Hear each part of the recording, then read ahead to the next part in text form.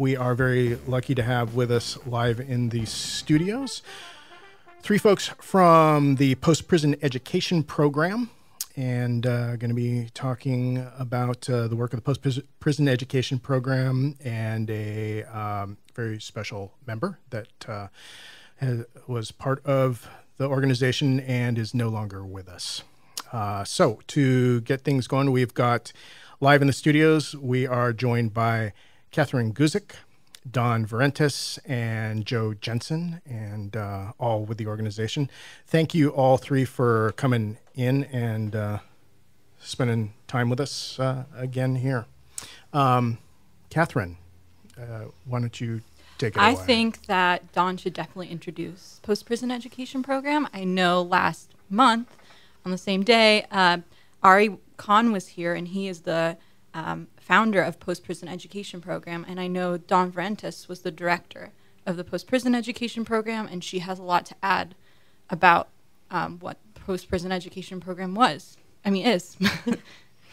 okay. Um, yeah. So I've been involved with the Post Prison Education Program since 2008. I first became involved with the program as a volunteer. Um, I was tutoring men and women coming out of prison, helping them get kind of up to par on their math skills, or if they were already in college, tutoring them um, in algebra and, and other types of stuff. Then I became employed part time, and then I became employed full time, and eventually became um, the managing director up until 2014. Um, so the premise of the post prison education program is essentially to work with men and women across Washington state releasing from any of the prisons who are wanting to go back to school, whether it be vocational, trade, uh, university, community college, whatever that education looks like. For that individual, we help them um, in their transition, ideally starting to work with them six months to a year prior to their release creating solid reentry plans, connecting them with resources, finding housing, um, kind of helping them put together all the pieces they need before they get out, because there's a lot to juggle after you're released from prison. And the prison system doesn't really release you with much other than uh, $40. So um, we set up that plan and then hold their hand as they come out and reenter society get them onto the college campuses, connect them with counselors and um, financial aid advisors on the college campuses. Um, and again, it's across the whole entire state. So even though the program is located physically in downtown Seattle, we work with people across the state. Um, so wherever someone's getting released from, we will go and help them in that transition. And so then after they're released, and they're enrolled in school, we continue to provide as much support as we can, and it's really individualized um, depending on on what that person needs, whether they need help with, um, you know, past child support stuff or other legal stuff that they didn't take care of before they were incarcerated, um, help with getting connected to doctors or mental health treatment or going into drug patient treat, drug inpatient treatment. So whatever that person needs, we really try to meet those needs um, so that they can be successful.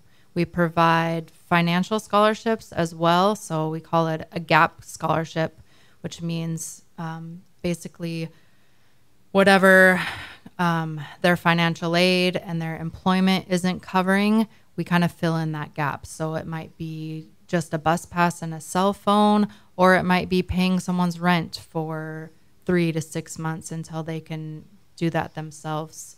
Um, sometimes people don't have the financial aid right away because they have defaulted on student loans or other reasons that their financial aid hasn't come in. So we'll step in and, and pay people's tuition or, you know, pay people's loans so that they can be successful. The whole point is to you know, get them into school, get them onto college campuses so that they have a better chance at not returning to prison. Are there any types of applicants that are more favorable in the program or selected? So the program really f- wants to focus its time and energy on, I would call them the most vulnerable people.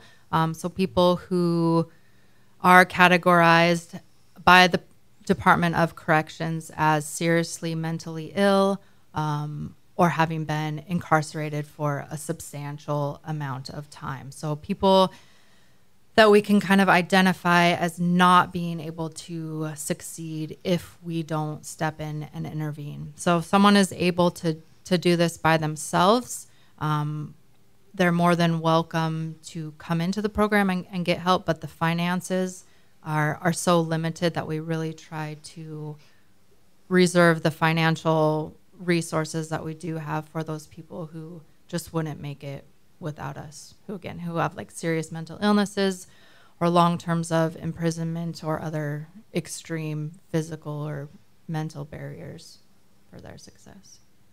Okay. So, um, Joe, do you have anything to add about the program or how you got specifically involved with Ari and Joey? I got involved because my nephew was on his third incarceration, and the first two were pretty much the blame game of, you know, bad legal advice. He wasn't guilty, all of that. And the third time he was in, there was a change that started to happen. And I started to hear about post prison education program. Joey was classified mentally ill. Many of us, when we think of mentally ill people, think of somebody that is on the street, not managing. There's a look that we anticipate we would see um, which isn't always true. And in Joey's case, he was very bright, very articulate. Um, he was a good looking man, and he was mentally ill. And he started to realize that he was self medicating. And to self medicate, you sometimes have to commit crimes to afford the drugs. And post prison helped him start to look at what his demons were and for him to start taking control of himself. So post prison got my total attention of what are you guys doing because you're doing something right.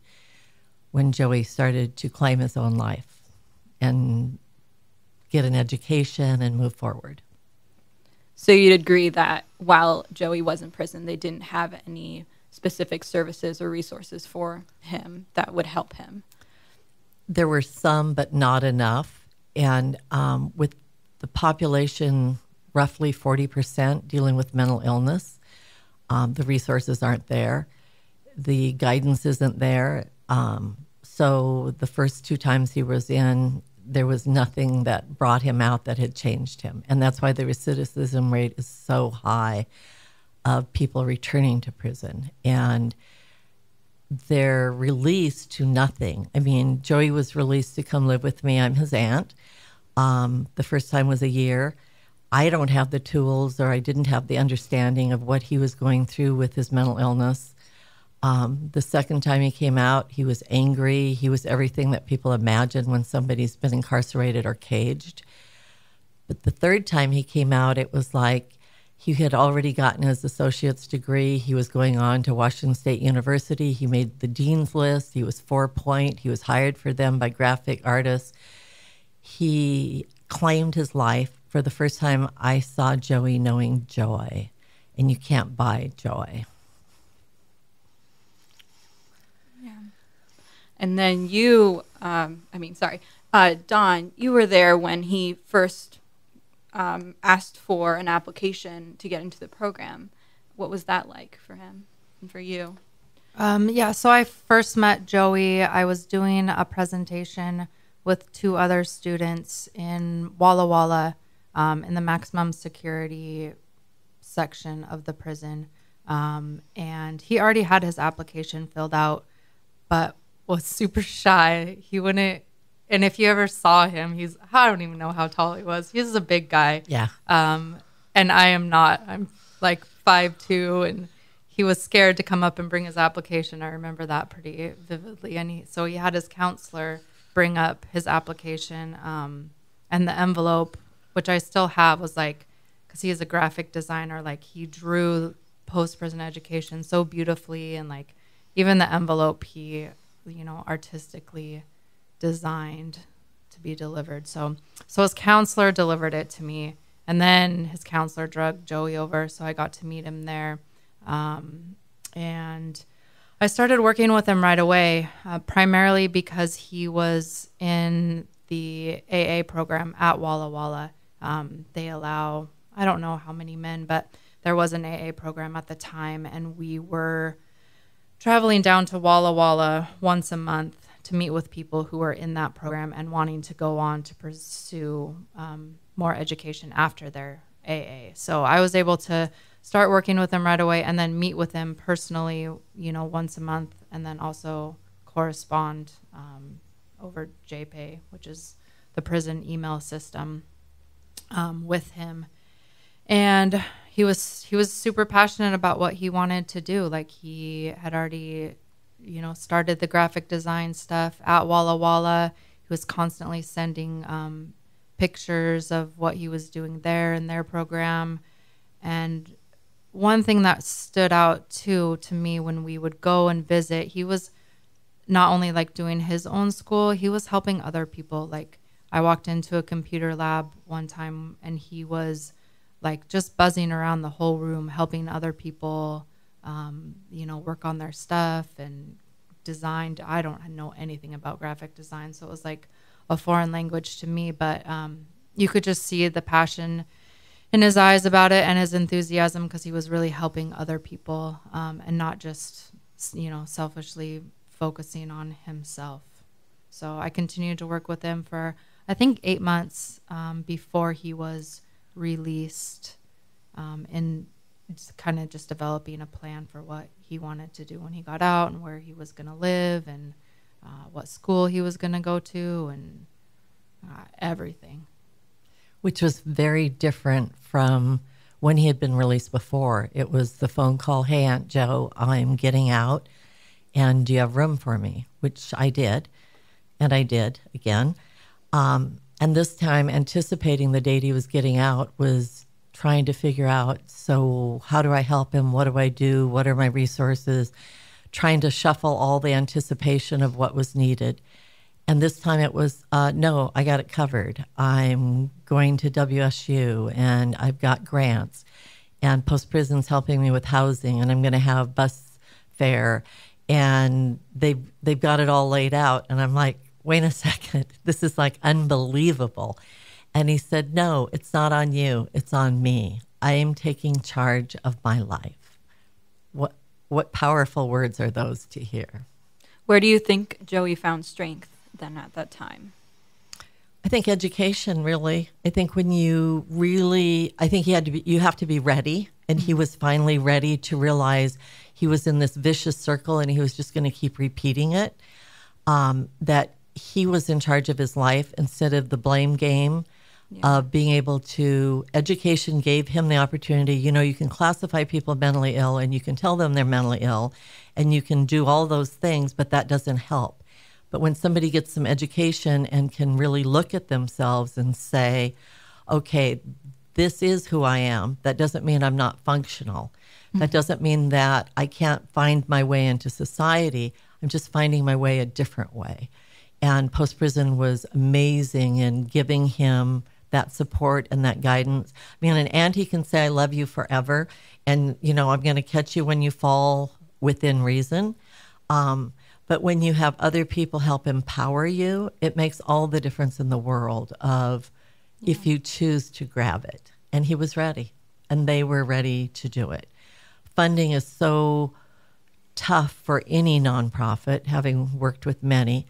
Um, you know, this is not a popular, people don't like to think of, but if they only realize the difference it can make in the world in changing instead of boarding people up um, instead of using prisons as mental facilities and um, take a look at the difference that people can give by empowering them. And that's one of the things post prison does for sure. I think Joey, too, also found something which we encourage every single student um, to do is to find something that they're passionate about. Um, and he did.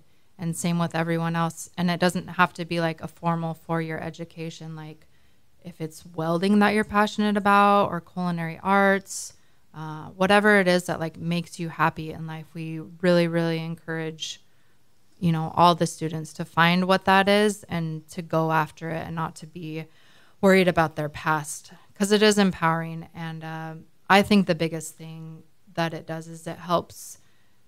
Um, prison just kind of beats you down, and society beats you down as a felon, as someone with a mental illness, as someone with a drug addiction, and coming out of prison, your confidence is is pretty low. Um, but if you are going to school and you're doing good things and getting good grades and doing something that you like, your confidence in yourself just boosts so rapidly um, that I think that that I mean with Joey and with all the people I've seen that have been successful with the program, I think that's the the biggest thing is just being able to have confidence in yourself again and not feel even though you might feel rejected by society at least know that you're doing something good and uh, you can go on and do bigger and better things than going back to drugs and crime and all the other things that lead you back to prison. Yeah, I've personally never been incarcerated, but what I've heard, and it makes total sense, is that people don't realize that sometimes when what people need the most when coming out are the most frugal needs.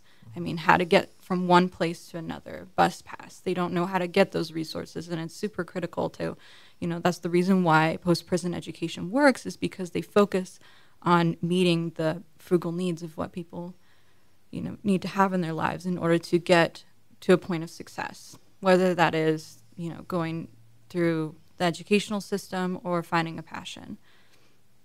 Yeah, absolutely. It's like, you know, Maslow's hierarchy of needs. Like if you don't have those basic needs met, you're not going to be able to do do anything else really or become reach your full potential if you are worried about you know paying your rent or you you don't have a phone so you can't even you know, call back for job interviews, stuff like that. So that is a common saying that we meet people's legitimate frugal needs at the time they arise. So not like down the road, like if someone needs something right then and there, we really try to meet those needs right then and there and not leave people hanging because then they end up in situations where they might be trying to get money by other means or feel that they need to quit school because uh, they can't afford certain things. So that's why the funding is so important, so that you can, you know, meet those needs at the time they arise. Otherwise,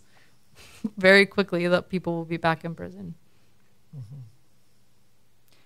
Yeah. So as we are talking, I mean, Joey has passed away. Yes. So, what do you believe happened to? You know, get him into that point because we do talk about the positive parts, but it should be addressed I mean, what do you believe is the reason why? What failed him, I guess? I think two things failed him. His body failed him. His father had died of ALS. He started developing the symptoms. Um, he had seen his father suffer through that. And um, it's a pretty scary thing to look at that as your death sentence. And funding, um, one of the major funders for post prison education um, was I, I guess there's only one way that, due to health reasons for herself, her funding to the program. And so, as with any program, as I've said before, with nonprofits, it's really hard to keep that money flow going.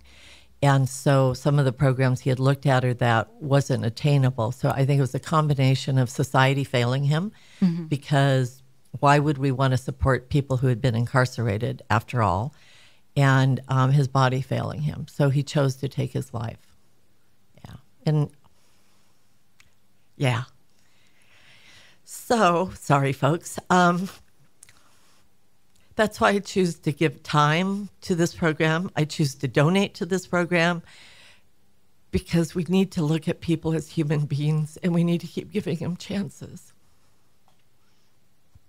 Take it from me. yeah. I mean, I totally agree. You know, in society, I feel like people are marked by their mistakes and a lot of the time it people just believe they'll go back to the mistakes they've made and that they can't have a positive change in society and that they can't be a role model after they've made critical mistakes I think one of the hard things is as an aunt or a mother or father or whoever you are, is we don't have the tools. I mean, as much as you can think that loving somebody might be enough or offering them shelter, it's so much greater than all of that. And I can look back at each time he stayed with me and I wish I knew what I knew today, which we should all look at our own lives that way. But post prison was there for me when it was like, okay, Joey's living with me right now and I don't understand this or I need help with this and and they were there to answer my questions. They were there to help me with resources. Mm-hmm. They made that difference that I needed to help him also find joy that post prison had helped him with major. Um, but for the first time, I felt like I really had a resource of being able to call somebody and say, okay, I need help. I don't need your money uh, right now. What I need is emotional support of answering some questions of how can I be better to help him find his way. I never had that before. And um, so it's important that the people being incarcerated have that, but it's also important for the support people that are there that wanting to help also get some guidance too. And so yeah. they gave me that. Especially when people are doing, you know, long sentences. When they get out, it's a totally different right. scenario. You know, technology changes, different resources that they need over time. You know, you forget once you're in there for so long. Joey had been incarcerated four times. Mm-hmm. Um, so and he did, you know, them in, in the installment plan, but he did a significant amount of time. Um, and every time he was in there, he was diagnosed as a different level in their classification system, the Department of Corrections, like a different level of mental illness. Um, so the Department of Corrections doesn't really have a lot of resources either to deal with kind of those lower level, higher functioning people with mental illnesses. Um, so he was never really able, given the help, to deal with that. And when he did get out this last time, um, he, so I was working with him and he was, I was on the phone with him daily, multiple times a day, helping him because he was released to the Tri Cities and our offices in Seattle, but I would talk to him on the phone daily, just walking him through where to get his bus pass, how to, you know, do this on campus, how to use Skype, like all these different things that he just didn't know how to do and was so overwhelming. Like it was overwhelming for me just trying to figure out all that stuff um, from a distance, you know, but I was more prepared to get on Google and make phone calls. Whereas he had been incarcerated for so long, he was overwhelmed just going to the grocery store or just going to the restaurants um, and making choices for himself. So I was able to kind of step in and help him with all that stuff. Um, and he, just like everyone else getting out of prison, just requires a lot of hand holding in the beginning. And then once they're able to you know, gain that confidence in themselves again and feel a little more stable, they can, you know, step in and help themselves out more. Um, but that initial initial time period is so crucial. I think the statistics say that most people who do recidivate, it happens in the first three months. If you make it past three months, then it's six months. If you make it past a year, your chances of recidivating um, go down pretty significantly. So that time period is crucial. And again, that's why the funding is so important because if we don't have, you know, the staff or the people to help someone being released during that time period, they're just going to go right back. What sorts of resources do you specifically, I mean, at the top, do you believe that prisons should incorporate into their systems? Um, in the systems, while they're incarcerated, absolutely more like mental health treatment. There's not a lot of counselors or therapists available. There's a lot of medications available, um, but like misdiagnoses happen quite regularly. Even if someone has been incarcerated previously, they might come back and someone else sees them, and so they get diagnosed with schizophrenia. Um, and that's not really what they have, but they'll start taking medications for that um, or self medicating there's a lot of drugs in prison. In case people didn't know, there is a lot. So people will self medicate.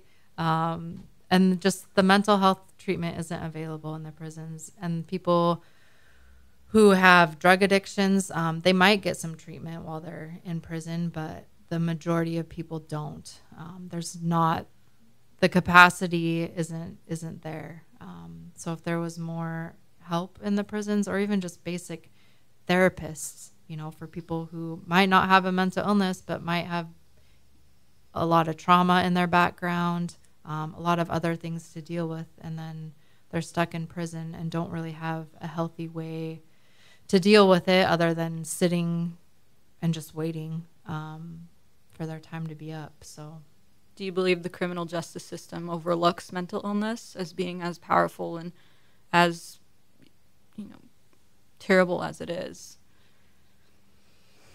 Um, that's a good question. I don't I don't think they overlook it, but I don't think that they prioritize it in a way that they should. Um, Do you know if the system is just uncomfortable with discussing mental, mental illness, bringing in people that can talk about it, or? I think it's very. It's, I think it's more just crime specific. Um, so if someone has a sex offense, there's definitely counseling and therapists like they are required. The prison is required to put um, people who have committed sex crimes through certain levels and certain amounts of therapy. Um, so you know that that's a big thing, and those people are definitely prioritized um, to get that treatment because of their crime. People who have drug offenses and are court ordered, or if they have a DOSA, a drug, oh gosh, I, I forget what it stands for. It's like an alternative sentence um, that the judici- that the judge will give you. And so if you do get a DOSA sentence, you're required to do treatment, drug treatment as well. Um, and so those people will get chemical dependency treatment, whereas someone who might have the exact same addiction won't get it because they didn't get that sentence. So I think it just really comes down to what a person is sentenced to, what their crime is, and really like mental illness doesn't come into play unless that person isn't able to function normally in the general population. So, if they are exhibiting behaviors that are threatening to themselves or threatening to other people, or they just they just can't physically function in with the rest of general population in the prisons, then those people will be in a separate unit very segregated, or if they're suicidal, also, um, then they'll be in a separate unit and given priority and given treatment and mental health counseling over people who can function normal.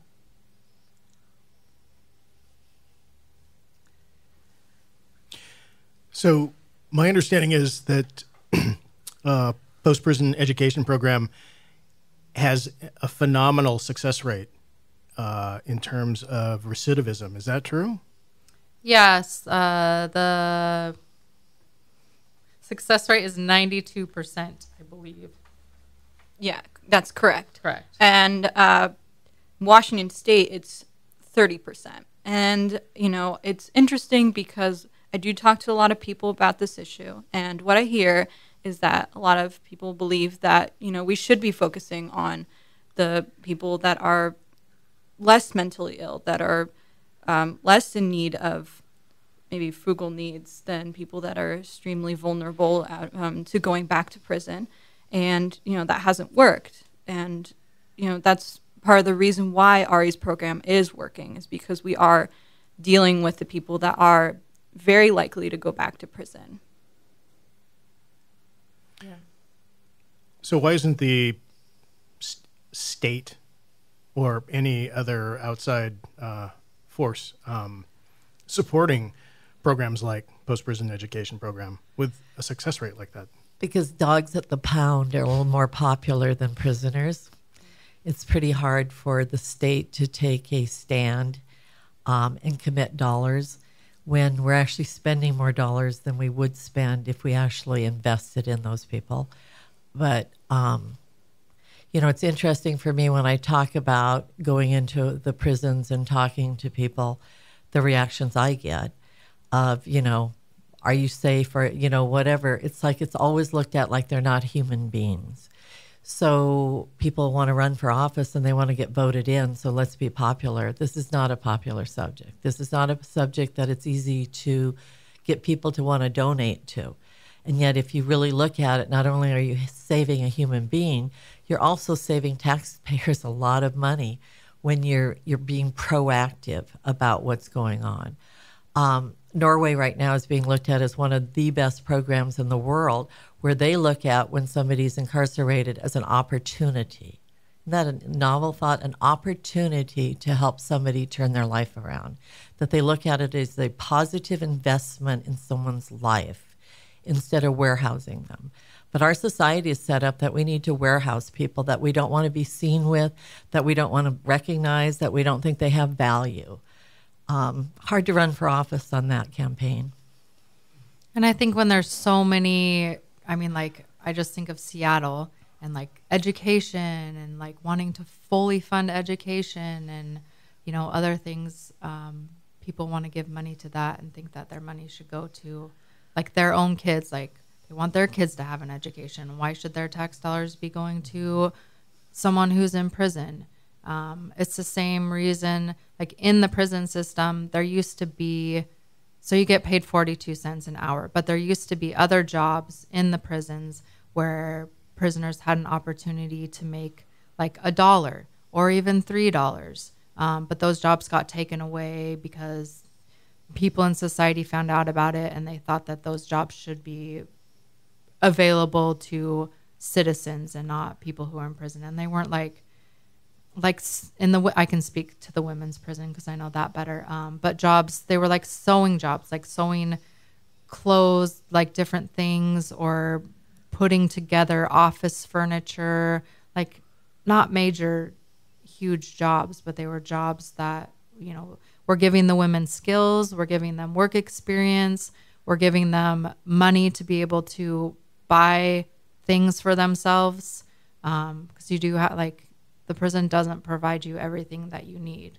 especially women. Like they have to buy their own tampons. The prison doesn't provide that type of stuff for them. So they like, and a lot of women would take their money and send it out to families or pay off their legal and financial obligations. Uh, so that's giving right back to society. But um, I think that people, unless you want to delve into the prison system and learn more about it, uh, it's just I don't. People just go off of what they think and think that all the people in prison are in prison for whatever, and all the stereotypes that go along with it. So yeah, it's not it's not a very popular thing to provide money for or want to fund. Yeah, even with politicians. I mean, if they were to focus on you know resources i mean supporting programs like post prison education program you know society would look at them a little strange and they wouldn't want to vote them in you know especially if they're vulnerable to you know being new as a politician then they would you know suffer badly so you know as sad as as it is it, i mean that's also part of the reason why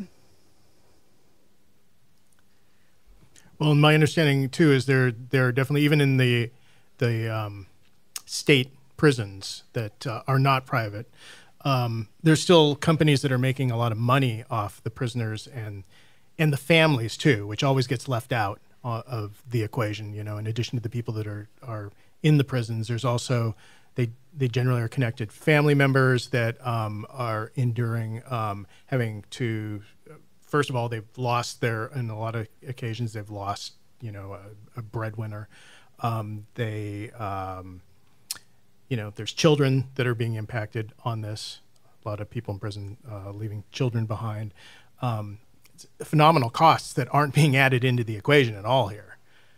One of those costs is exactly what you're talking about the children. Having done foster care and violent offender foster care licensed through the prison system, is the percentage of children raised by families where a family member was incarcerated. Their chance of also ending up being incarcerated is extremely high. So, absolutely, the, the victims are much wider than just the person that's incarcerated. Um, it's we've got to redo our system, and programs like post prison need support. And if anybody would like to send them a check tonight or tomorrow or go onto their website, please do so because funding for this program is very hard to get and it changes lives. And when you can actually witness lives being changed, it's pretty amazing. And that's why I'm involved. Yeah. I think the, I mean, you can go on the DOC website, but I think it's like 89% of people incarcerated have 2.4 kids. Like that's just how it, how it works out. But, uh, so, I mean, that's a huge percentage of people who are parents so that's a lot of kids out there whose parents are incarcerated.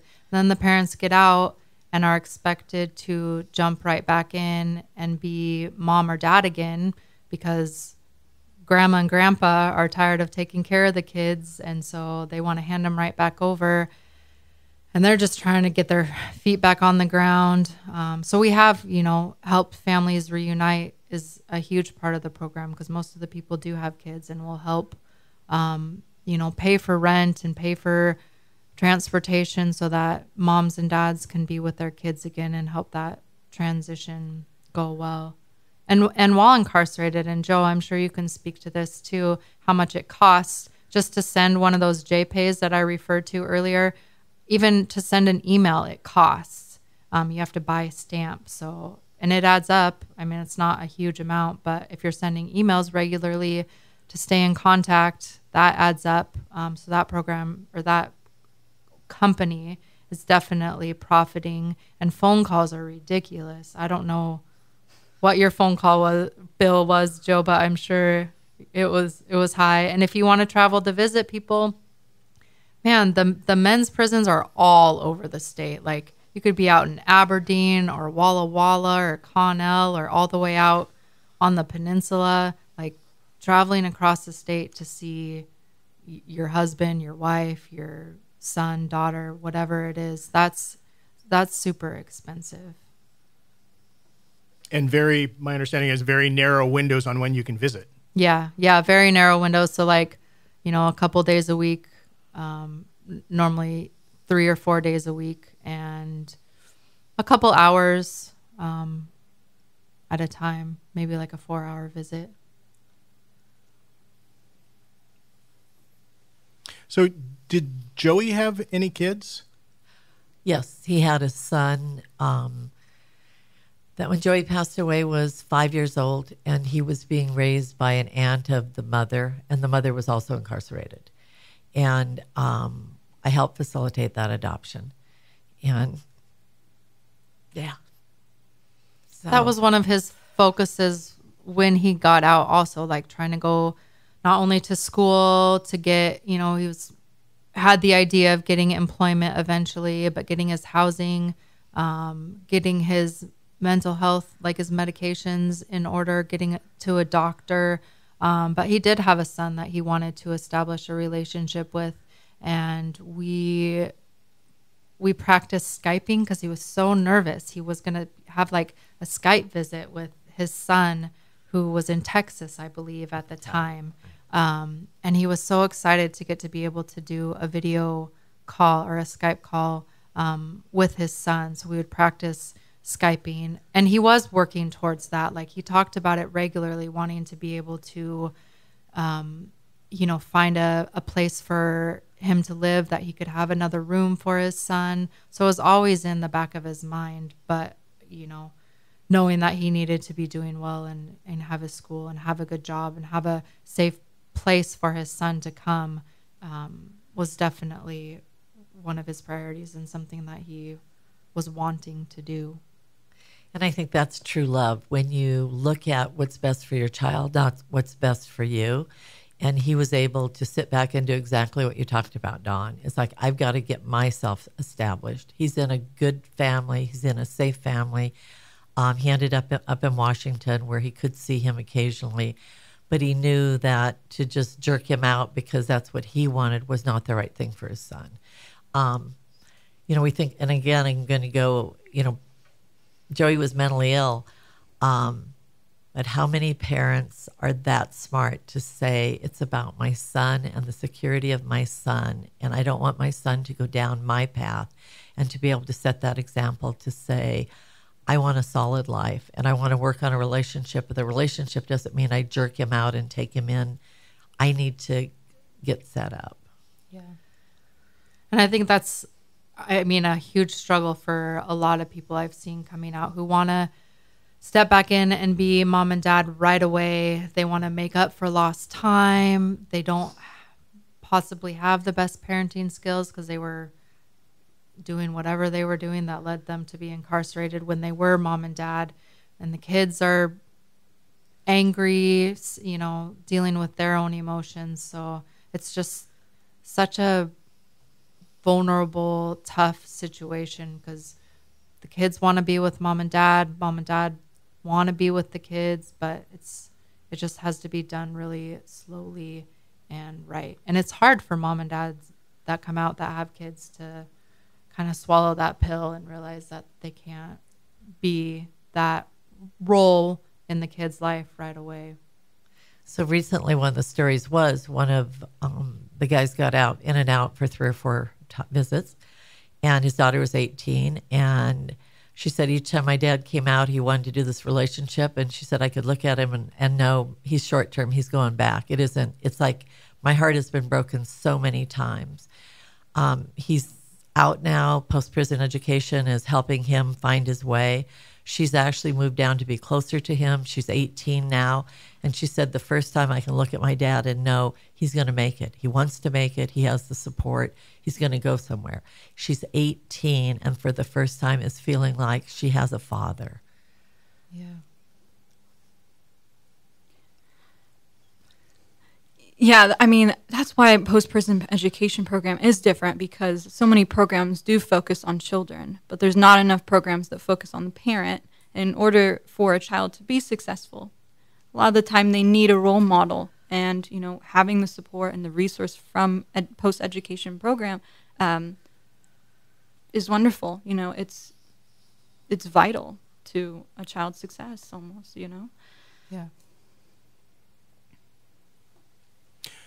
Um, I also uh, read that Joey was um, producing a newsletter and or a blog. Can you talk about that? Yeah. Go ahead. He was so excited about this too. So, and he started doing it right away um, when he got out because he really, like I mentioned earlier, he was in the computer lab, like helping people with stuff. But when he got out, he started, yeah, he called it a newsletter, and he, and it was like a newsletter, and he would send it back into his friends and into the prison on a regular basis to just encourage them. And he was super honest in it. I think that that was, you know, one of the greatest things about Joey and a key factor in people that are going to be successful is you just have to be humble and vulnerable and admit that it sucks and it's hard and admit that you're like where you mess up. So he would write and, you know, was honest with the people who are still incarcerated about what he was doing, what was hard, what was good. Um, and he just was sharing his his journey as he got out um, with the people who were still in, just as a way to encourage and motivate him. Um, and it was, it was like, I mean, I got feedback from people who were getting it about how great it was because it's important for people who are on who are still incarcerated to hear those stories um, of people who are being successful because like i said it's super discouraging especially if someone has been in three or four times to just be like well i'm just going to come back anyway. So having those people who have who have been where you've been and who have changed and are showing that it is possible to change and that it is possible to have a successful life and not go back um, is super important. And I know he was really passionate about sharing that and encouraging people. And I think one of the difference was I think the other times when he got out, part of him believed he'd go back. I think there was always the um, not having value of himself, not knowing what to do. Um, again, no matter how much I could tell him I loved him or I'm there providing shelter and food, you know, because if you feed them enough, it's everything's going to be okay. But that's not true. I'm finding. Um, but this time when Joey got out, you could tell he wasn't going back. He had figured it out, and he wanted to share that with others to give them hope. And when he stumbled, he let them know that. And I know one of his great prides he had shared with me, and I think in the newsletters, he went from a bus pass to a bike. And wow, that was huge that he had his own transportation. And, With and the I mean, cape. Yeah, right. And it was just like the simplest, purest things that you can find joy in when you allow yourself to and when you're given the opportunity um, from a bus pass to a bike. Think what that would do for you. Would you be happy about that? Trust me, you would be if you had been restricted in your freedom prior. Yeah.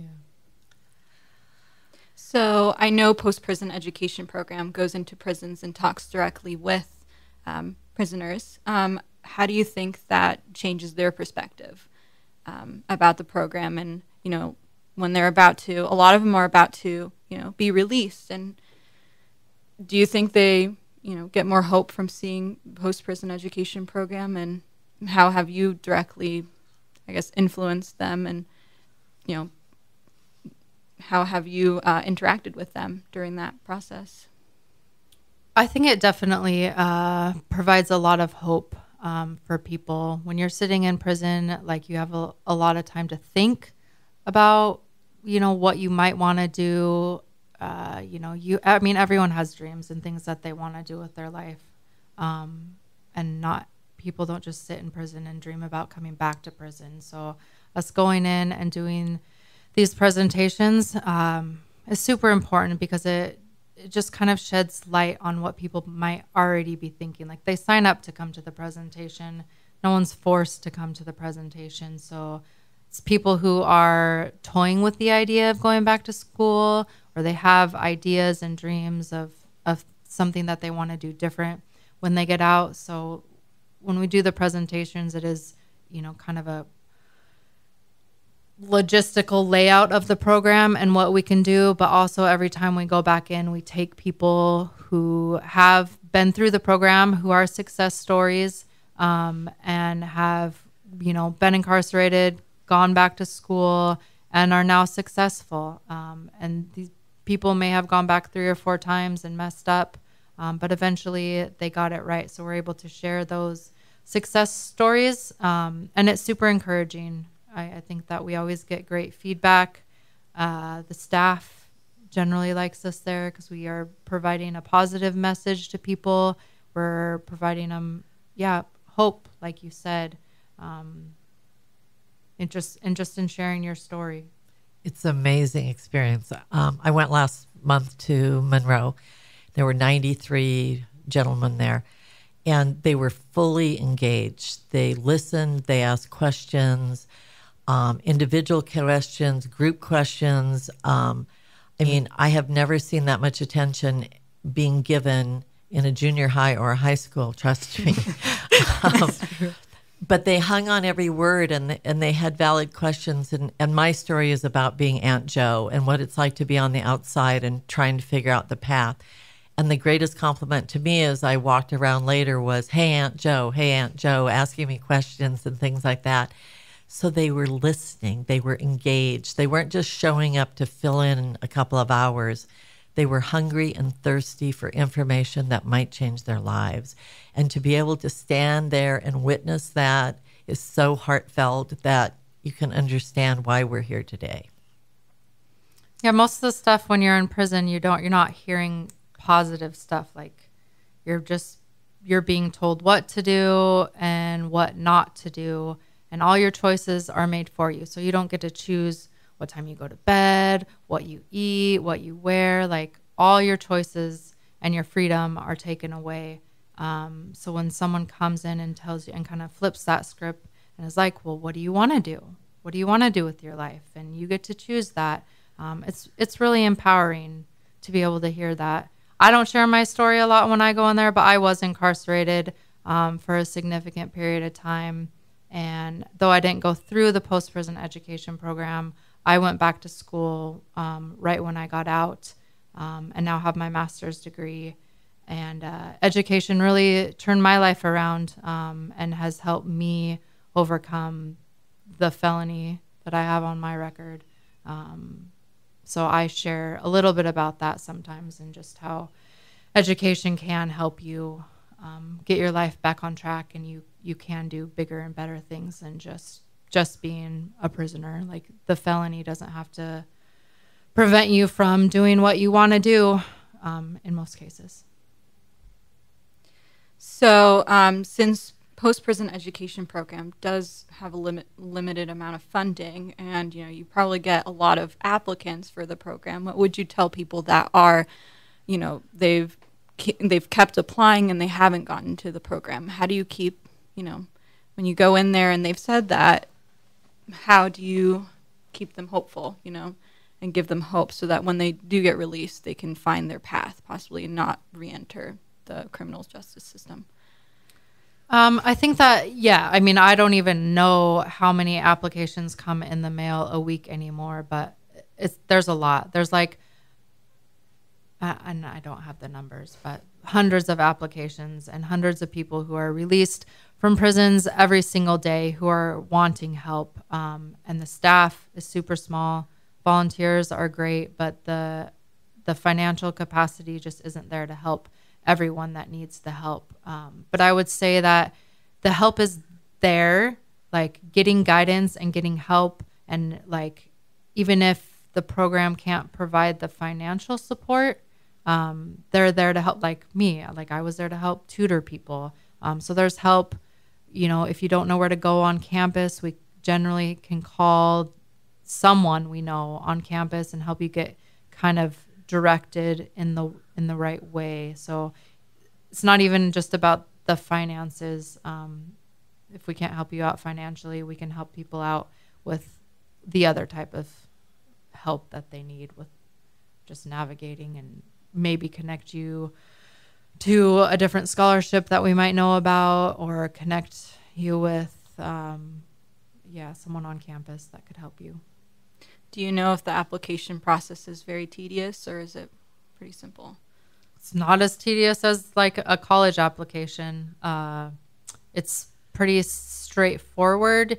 Um, you are asked question like basic demographic information, but then also, you know, you're asked to be pretty upfront about any mental health issues, any addictions, um, if you have been to chemical dependency treatment, stuff like that, because and if you're not honest, you can tell like pretty quickly if someone is not being honest. If they're in like we can look at your crime and see what you're in there for, and if you think that you know.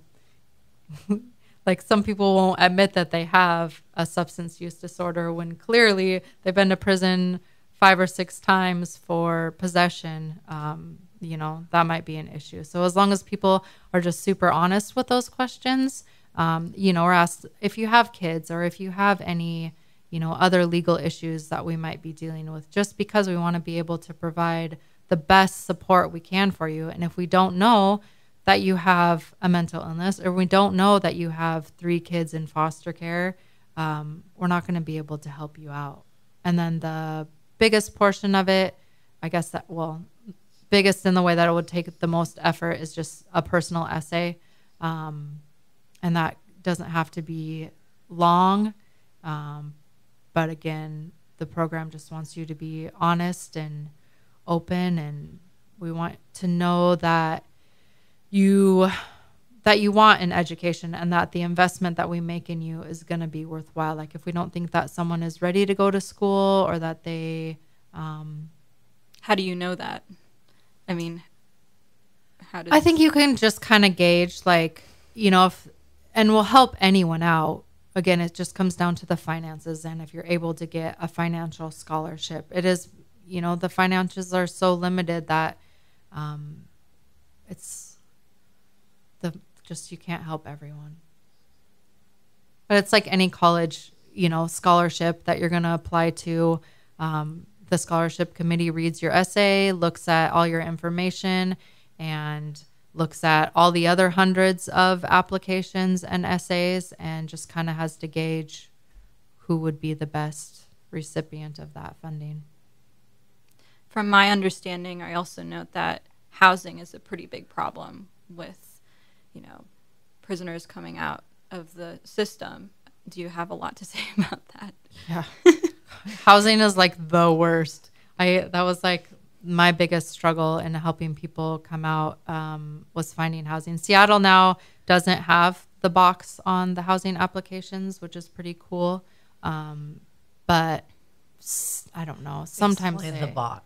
Oh, the bot like on an application, you have to check if you have a felony or not.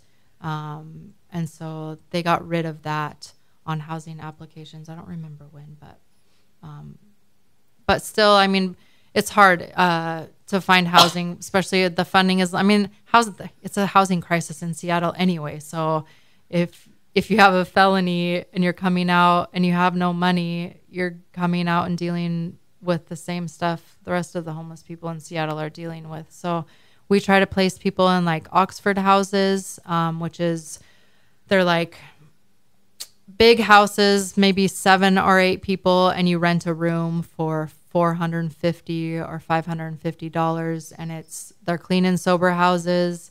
So you're going to aa or na meetings.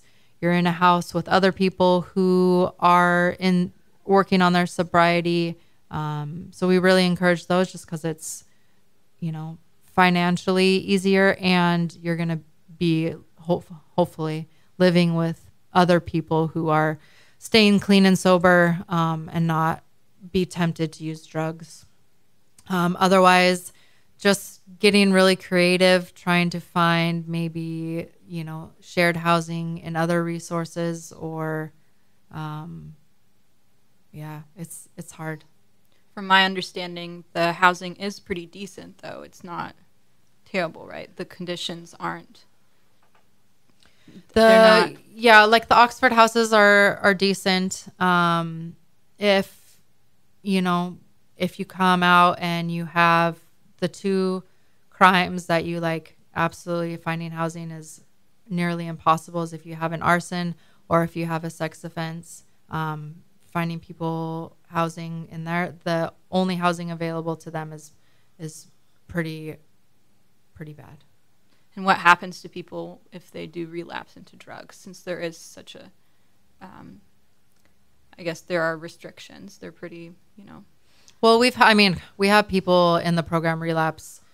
I mean, it happens. It happens all the time. Um, and so we don't kick people out of the program for that, but we want them to, we work with them to get them into treatment, get them assessed, get them into inpatient, outpatient, um, whatever it is to get them sober.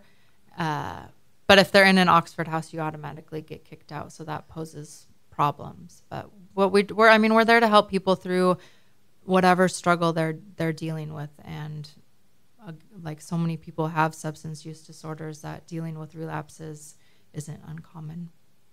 So how do you both of you, John and and I mean John, Joe and Don, um, want Joey to be remembered? we both got quiet. I want him to be remembered for strength and empowerment, and that's what he wanted for other people. And um, if he had survived, he would be helping other people up based on his past and not ashamed of it, but using it to stand on, not drag it behind him, and to help others find their way. Yeah, that's perfect. Um, I yeah, I would just hope that people would remember him for the passionate, determined um, man that he was. He was so giving with his heart, um, and and struggled a lot. And um, like Joe mentioned, you you couldn't see it. Like if you looked at him, you wouldn't know that he was struggling. Um, so just to be gentle with people and um, know that everyone has their past and their struggles, but they're not just throwaway people. Yeah. Sometimes the quietest people are struggling the most, as we have seen yeah, in absolutely. society. So, how can people find out more about post prison education program? You can go to their website, Post Prison Education Program, and there's a donate button there. You can also learn more about them. Um, they need volunteers. Money is always important. Um, regretfully, it'd be nice to think it wasn't, but that's how these things are funded. And it can be as simple as helping somebody get a bus pass or a bike, or housing, which is huge, um, to have staff to be able to hold a hand and help them find their way. So if you can find in your hearts to donate, we appreciate it. It does make a huge difference in a human being. All right. Well, thank you all for coming in. Thank, Thank you. you. Thank you. Looking forward to the show again next month.